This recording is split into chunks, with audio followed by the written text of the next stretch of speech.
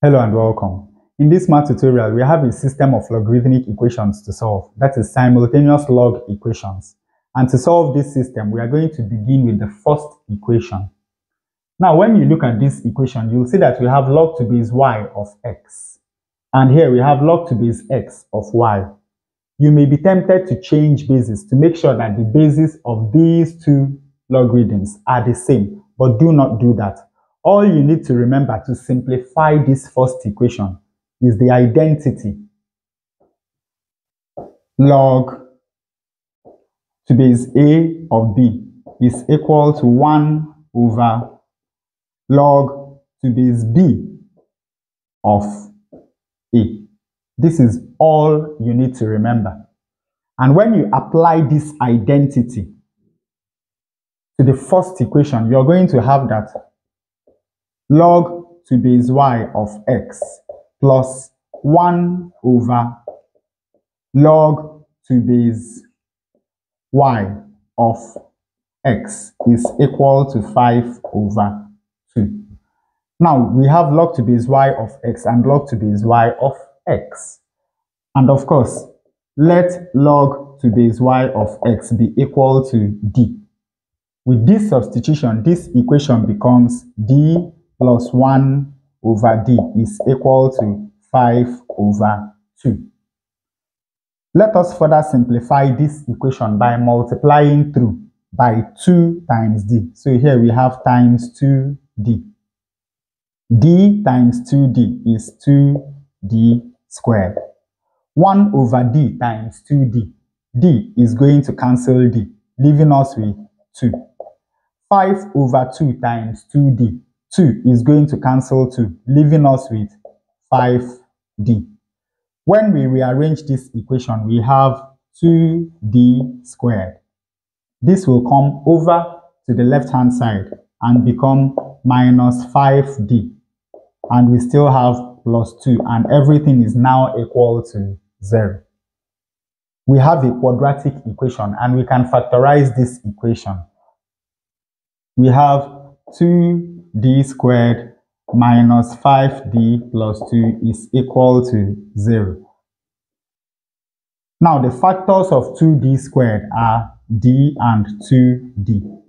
And the factors of 2 are 2 and 1. But because of this negative sign, let us make this minus 2 and minus 1. Because you know that minus 2 times minus 1 will also give us plus 2. Now let us check. d times minus 1 is minus d. And 2d times minus 2 is minus 4d. And minus 4d minus d is minus 5d. So we have that the factors of this quadratic equation are d minus 2 and 2d minus 1. And of course, this is equal to 0. From here, we have that either d minus 2 is equal to 0, which implies that d is equal to 2, or 2d minus 1 is equal to 0, which implies that 2d is equal to 1 and d is equal to half. So you can see that now we have two values for d, 2 and half, and that simply means that either log to base y of x is equal to 2 or log to base y of x is equal to half. Of course, you know that when we have a statement like this, it simply means that y to the power 2 is equal to x.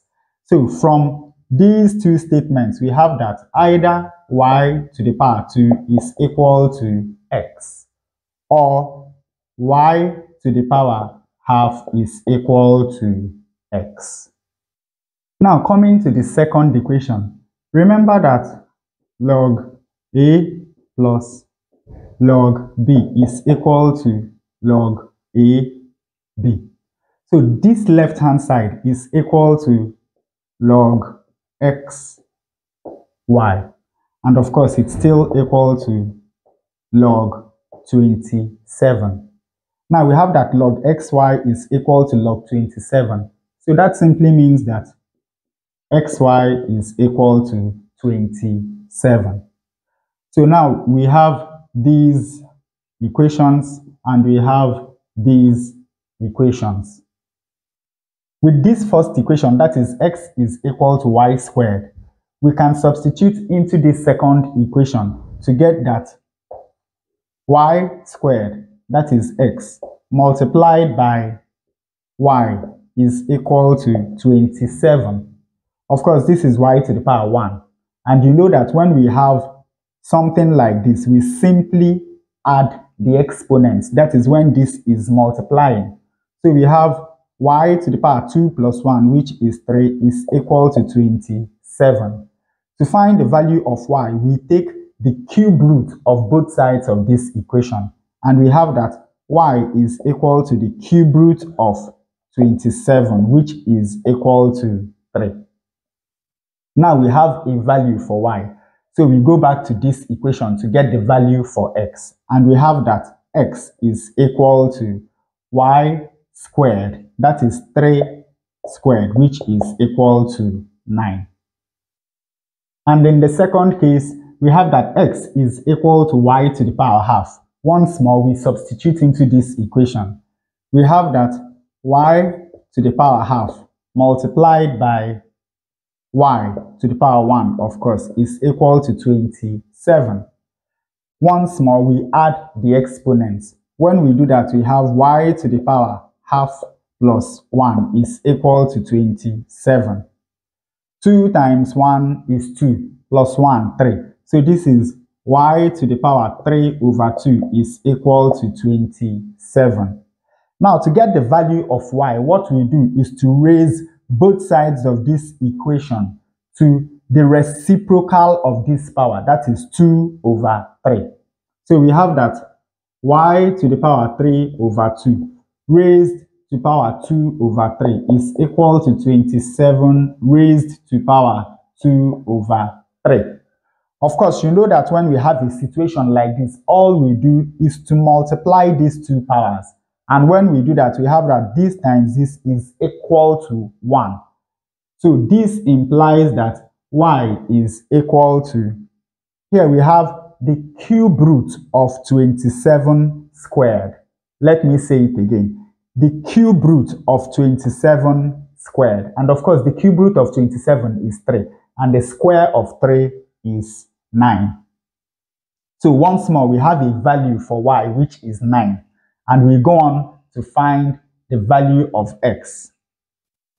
We have that x is equal to 9 to the power half. That is the square root of 9.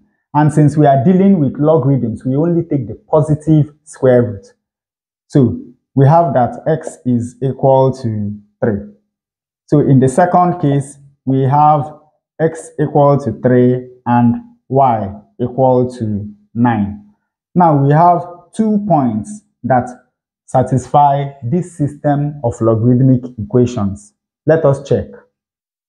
Now when we substitute the value of 9 for x in the first equation and the value of 3 for y in the first equation, we have log to base 3 of 9 plus log to base 9 of 3 is equal to, remember that 9 is 3 squared. So we have log to base 3 of 3 squared plus log to base 9. Once more, remember that 3 is the square root of 9. That is 9 to the power half.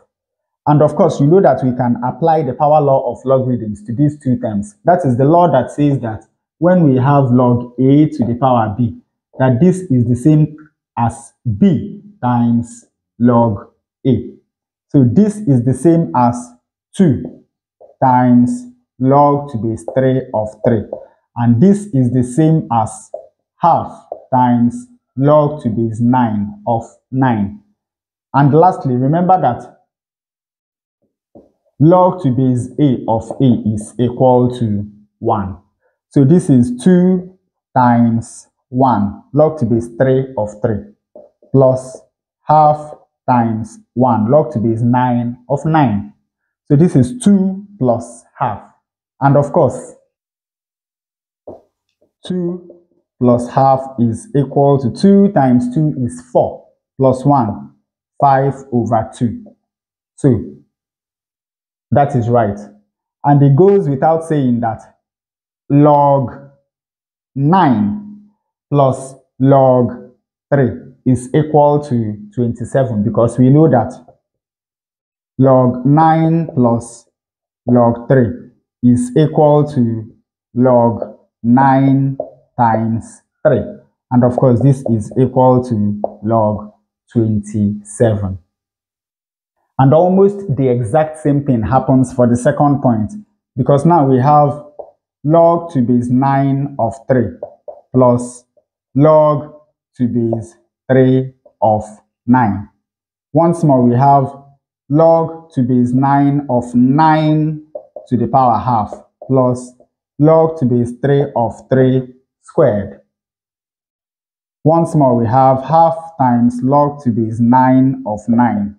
And once more, we have 2 times log to base 3 of 3. Once more, we have half times 1, which is half, plus 2 times 1, which is 2. And once more, half plus 2 is equal to 5 over 2. So we have that the two points that satisfy this system of logarithmic equations are 9 and 3 and 3 and 9. And with that, we come to the end of this tutorial. I hope you learned something new. If you enjoy such content, please subscribe to the channel. Leave us a like to support the channel. Thanks for watching and see you in the next one.